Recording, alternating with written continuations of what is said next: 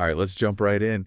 Today we're taking a deep dive into disc golf course design. Ooh, always fun. And we've got some notes here scouting out CP Waggoner Park in Grand Prairie, Texas you know it, as a potential course. Yeah. It's not a blank slate, which I think makes it even more exciting Yeah, that makes it more fun. because we're really going to be using existing park features. You've been there, walked the park, made some notes. Yep.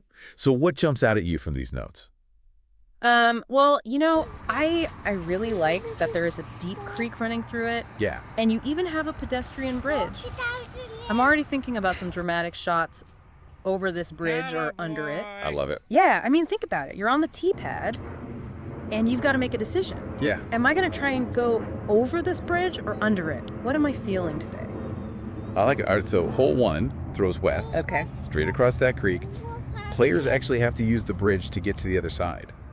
I love it. So we're not just using an existing feature, Yeah. we're making it essential to the game. Absolutely. It's not just about distance control. Wonderful. Right. It's adding that extra element of strategy right off the bat. Love it. Yeah.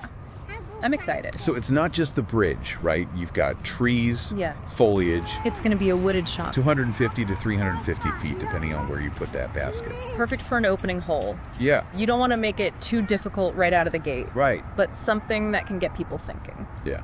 All right. Hole two. We're heading south now. This one is tight. Oh, tight. Okay. Through the trees. Hmm. Watch out for that picnic table. Sounds like a hazard. The creek is behind the basket area. I love it. This sounds tricky.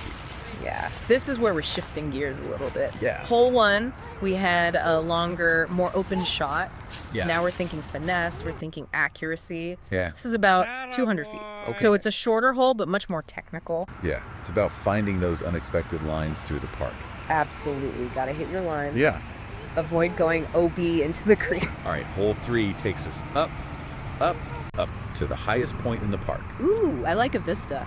overlooking, get this, the George Bush Tollway. All right, so we got a view. What a view. That's what you noted. What a view. That's what I said, yeah. Beautiful views. So this is a long one. Gently wooded, approximately 500 feet. Okay, so this is our longest hole so far. Yeah. Sounds like a good par uh-huh. four. Yeah. And the basket sits near the parking lot with that creek on the left and a drainage ditch marking OB. Adds a little bit of danger. Yeah. This is where design gets interesting. Yeah. How do you balance a stunning view Right. with the need for a challenging and engaging hole? It can't just be a scenic walk in the park. It can't just be a walk in the park, you're right. I think subtle elevation changes can really do the trick here. Yeah. Or maybe strategically place trees to create those interesting lines that people have to hit. Yeah. You don't want to distract too much from the scenery, though. Right. Yeah. So it's all about integrating those challenges seamlessly into the natural beauty. I like it. All right. Hole four brings us back down to earth. Okay. Literally. It's on the east side of the parking lot, Yeah. Wide open, a field I love it. just begging for a power drive. Yeah, that's where you let it rip. You noted that there's a tree line off to the left. Yeah. That's going to be hole nine eventually.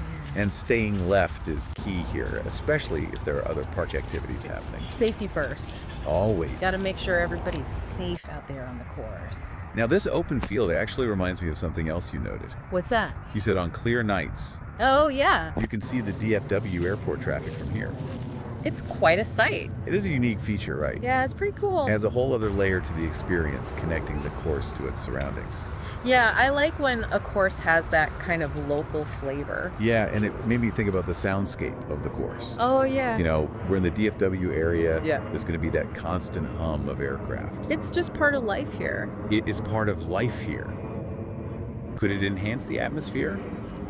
Or is it a distraction? Hmm. That's a good question. It's something designers have to consider. Absolutely. All right, let's move on to hole five. Okay. We're heading south again toward the second parking lot. All right, making our way through the park.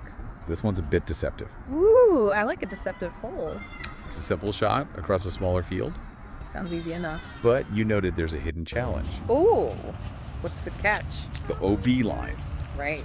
is the road leading to the parking lot, and it's completely hidden from the tee-pad. So you can't even see it. Can't even see it. So you could just launch one out there and be OB without even knowing it.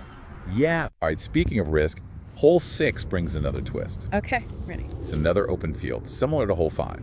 Right, so we got some distance potential here. Yeah, but this one calls for an anhyzer shot. Anhyzer. Okay, now we're talking. A curving throw. All right, so for those who don't know, for a right-handed player, an anhyzer is going to make the disc curve to the That's right. perfect explanation. Yeah. So you need that curve. Okay. Because the fairway runs right along the outfield fence of a baseball field. Oh, wow. So if you throw it straight, yeah, you're in trouble. you're going to hit the fence. How to shape that shot. And you noted that the safest play here is a C-shaped drive, That's right.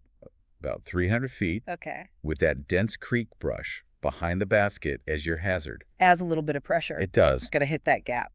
Now we turn north for the first time Okay, switching it up. with hole seven. All right. And you said it's almost unrealistic because of how tight the fairway is. All right. Challenge accepted. This is a tight tunnel shot. Tunnel shot. All right, I love those. Deep creek on the right, Okay. sidewalk on your left.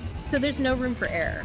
You said it's like an hourglass, narrowing at the start and then widening slightly where the basket sits 320 feet away. So precision is key here. Yeah, this is a risk reward hole. Big time. Right. Do you go for the risky shot That's right. or play it safe?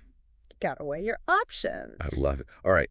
And then fi- finally, we're going to finish part one here All right. with hole eight. Okay. You said, imagine this a relaxing 220 foot tunnel shot under the shade of those beautiful oak trees. Yeah, this is where you catch your breath a little bit Yeah. after that brutal hole seven. You're going to need to. Relax. And even as the sun sets, Yeah. you noted there's a well lit pavilion near the tee pad Yeah, it makes it easier to see. and a sidewalk by the basket, Gotta be safe. ensuring good visibility. That's important. We've spent all this time talking about someone else's vision for this course, Right. but now it's your turn. It's time to put on your designer hats, folks. Yeah, we're giving you the keys to your local park. It's a blank slate. Let's get creative. What are you going to do with it? What's your dream course? It doesn't have to be anything crazy or elaborate. It doesn't have to be fancy. Sometimes the simplest ideas are the most effective. Absolutely. It's all about those little details. What unique features would you incorporate? What's going to make your course stand out? What's going to make people want to come back and play it again and again? Yeah. What's that special something?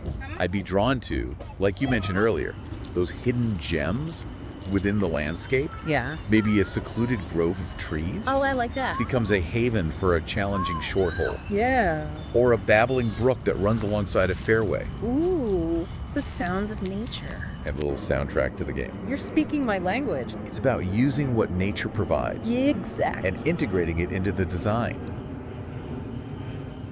Until next time. Keep those discs flying.